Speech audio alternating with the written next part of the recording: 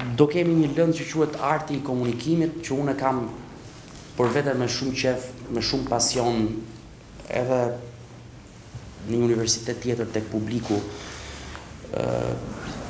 Arma që ju do kini nesër si gazetar, arma juaj më e rëndësishme apo e të gjithëve atyre që janë gazetarë është fjala. Fjala e shkruar në gazetë, në revistë, në portalet online, por më rëndësishme dhe me më shumë peshë, me më shumë goditje, fjala është përmes mikrofonit të radios edhe mikrofonit të televizionit. Në gati 16 orët që që ne do kemi, në këtë pjesë të parë unë do bëj një hyrje të gjërave që do zhvillojmë, do të jenë gati 16 orë. Do të ndalojmë tek Pjesët më të rëndësishme që janë si të qëndrojmë dhe si të flasim para mikrofonit të radios, por edhe në pjesën e televizionit. Gjithmonë kur flasim për radion duhet të kini parasysh që radioja është trampolini më i mirë për secilin prej jush në televizion. Dialektet dhe e folura në gjuhën letrare do të jetë një një temë shumë e rëndësishme. Unë do t'ju pyes pak më mbrapa, por para se t'ju pyes ju do t'ju them nga jam unë, edhe si flas unë dhe pastaj se si jeni ju dhe çfarë dialektesh keni, për të mos e keqkuptuar historinë e dialektit dhe të folurës në gjuhë letrare, theksin peshën e fjalës dhe llogjikën kur ne lexojmë dhe flasim.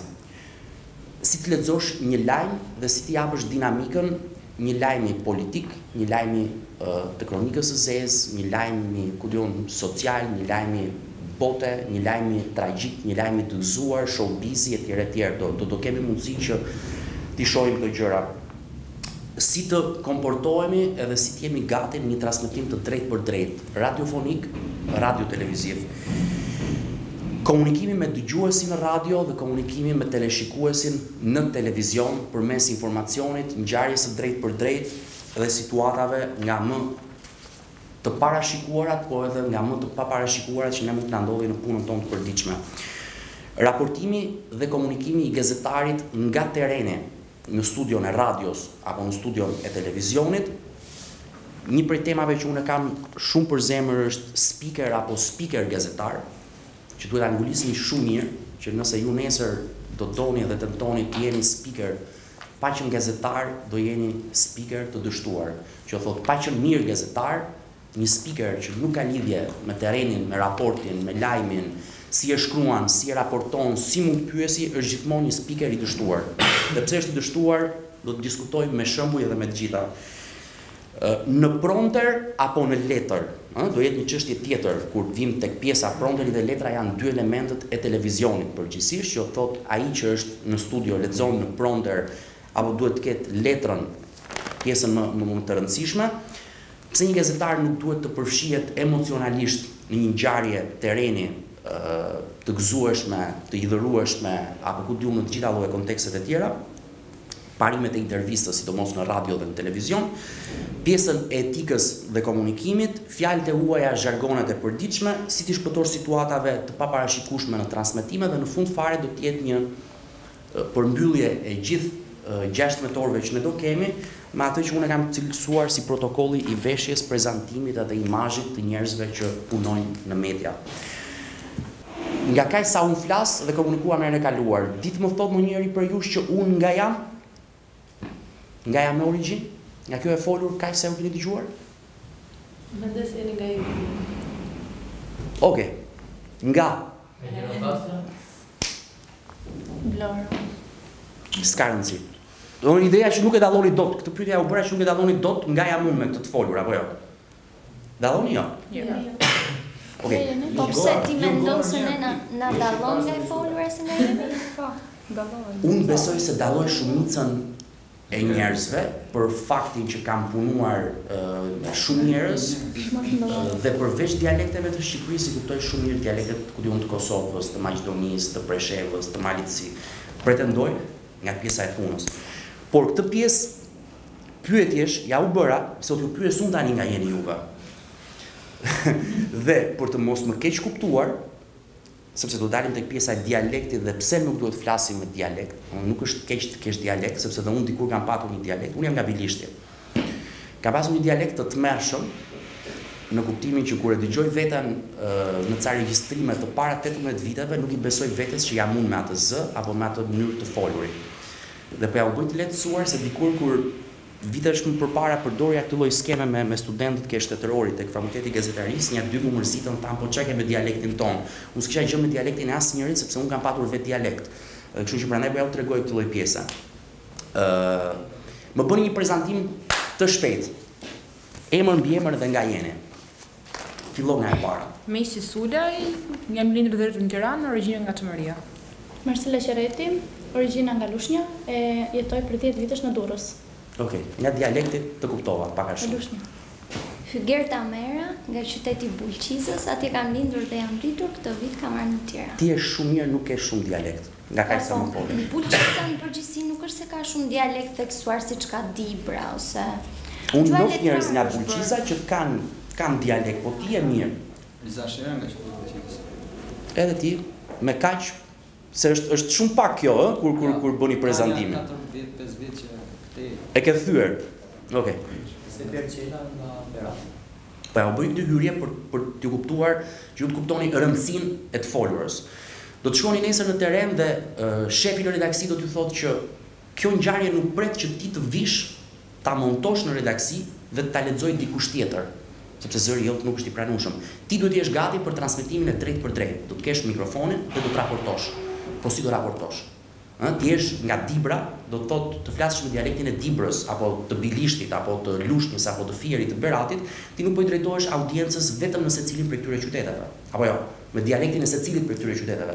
Prandaj ne duhet të flasim gjuhë letrare dhe sa më shumë pa dialektet që unë do përpiqem t'ju shpjegoj se si do punojmë ne edhe për të hequr dialektet.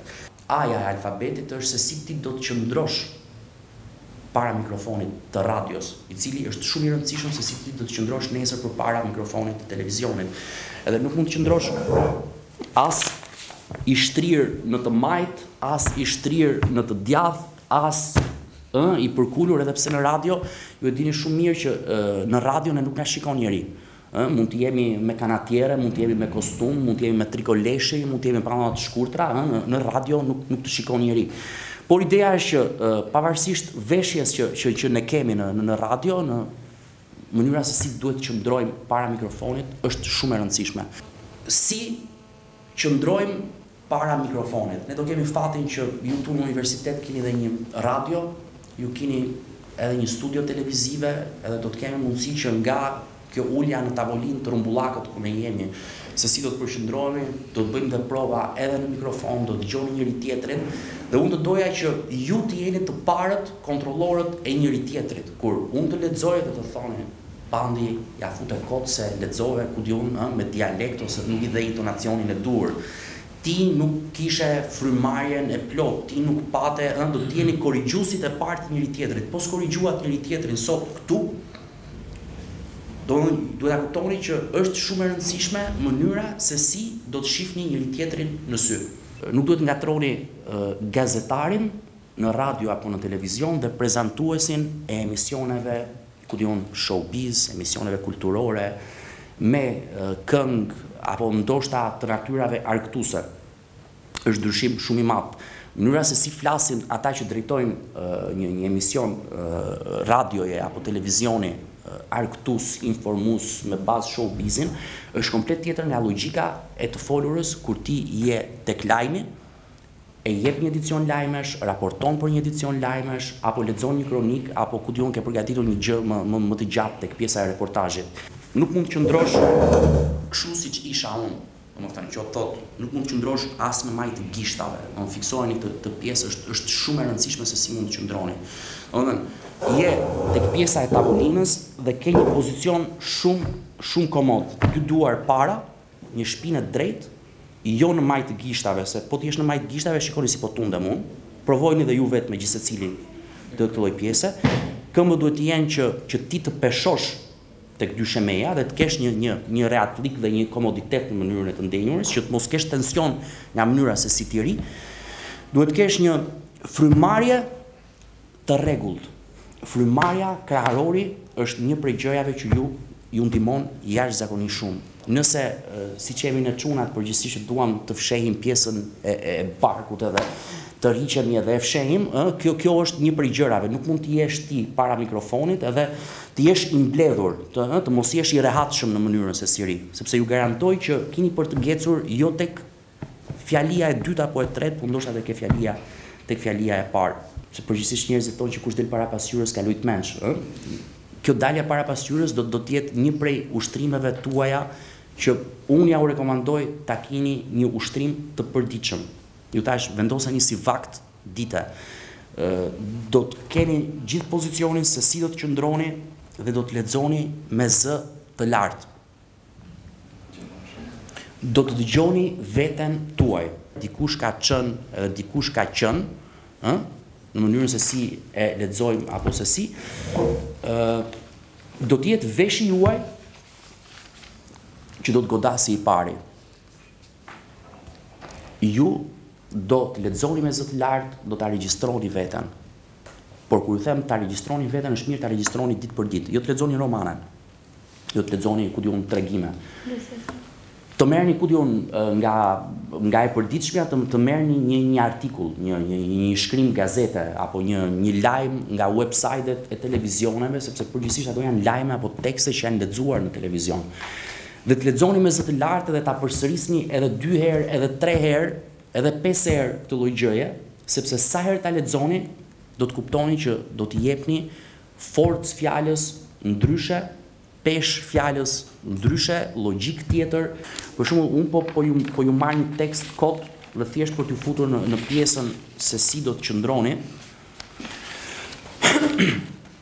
Domethënë, është është ai pozicioni që ju thashë as i kërrusur, po i drejtë dhe mundësisht kjo pjesa e e fundit të kraharorit të jetë e ngjitur me tavolinën, të jetë një një frymëmarrje e rregullt sepse po të keni ardhur nga vrapi apo ku di unë nga nxitimi dhe të hyni në mikrofon është ajo pjesa që nuk nuk do merreni dhe nuk do mbusheni dot me me frymë do të keni emocionin e e mikrofonit do të keni emocionin e të daljes në transmetim dhe ju garantoj që sa herë të dilni para kameras sa herë të dilni para mikrofonit le të keni 10, 15 apo 20 vjet çdo lloj dalje ka emocionin e vet në këtë pozicion me mikrofonin para unë po ju lexoj katër fjali tekst dhe më, më dëgjoni mënyrën se si do të lexohet. Arma e gazetarit është fjala. Po më shikoni xhestin çfarë unë po bëj, ë? do ta ritmoj edhe me një shenjë të dorës, ë? Do do do të ritmoj atë që do flas, është është shumë e rëndësishme kjo. Arma e gazetarit është fjala. Nëse në median e shkruar, gazeta, revista apo portale online gjithçka e përcjellin përmes të shkruarës, në televizion apo në radio e transmetojnë përmes zërit, të folurës. Ndaj të flasësh dhe të lexosh sot në televizion apo në radio në gjuhën letrare dhe pa dialekt është një art më vete. A mund të flasë çdokush në radio dhe në televizion? Padyshim që jo. Por a mund të punosh dhe si mund të jesh gati të flasësh në radio dhe në televizion? Padyshim që po. Askush nuk ka lindur i mësuar, është ushtruar dhe ia ka dalë që të ketë armën e rëndësishme të komunikimit, fjalën. Ndaj të jesh sot gazetar përveç se duhet të jesh i aftë dhe i zoti në gërmimin dhe gjetjen e lajmit, burimeve të informacionit, të dish të raportosh apo të shkruash, padyshim që hapi final i rëndësishëm është që ta përcjellësh dhe ta transmetosh.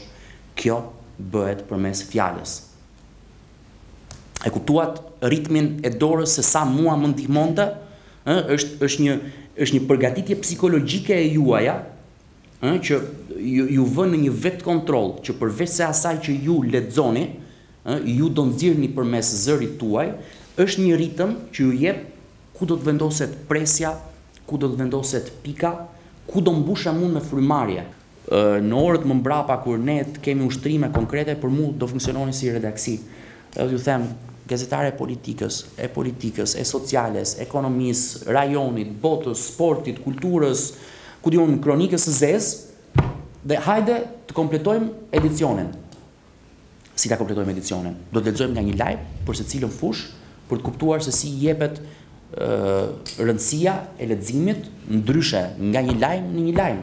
ë sepse nuk mund të jemi me një tonalitet, me një peshë fjale, me një ritëm nga kronika e zezë me shtatë të vdekur, ë tek lajmi i gëzueshëm që sot po festojmë qind e dy vjetorin e pavarësisë.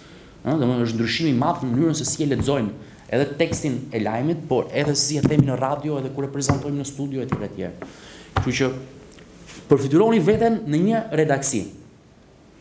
Kështu që filloni, vetëm konceptoheni kështu organizimin e kësaj tavoline. Dakord? Më thuaj. Para se të thoni që që kam dështuar, s'kisha pyetje.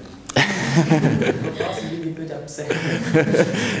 Unë të do ndihmoj me ndonjë pyetje tjetër. Jo, unë thashë për për për batuta atë pjesën që domethënë i bie që të jemi dështuar në kuptimin që unë i paskam thënë aq mirë të gjitha gjërat sa ju s'keni pyetje. Kjo kjo ishte ideja. E, ose i kuptuat të gjitha ose s'kuptuat asgjë.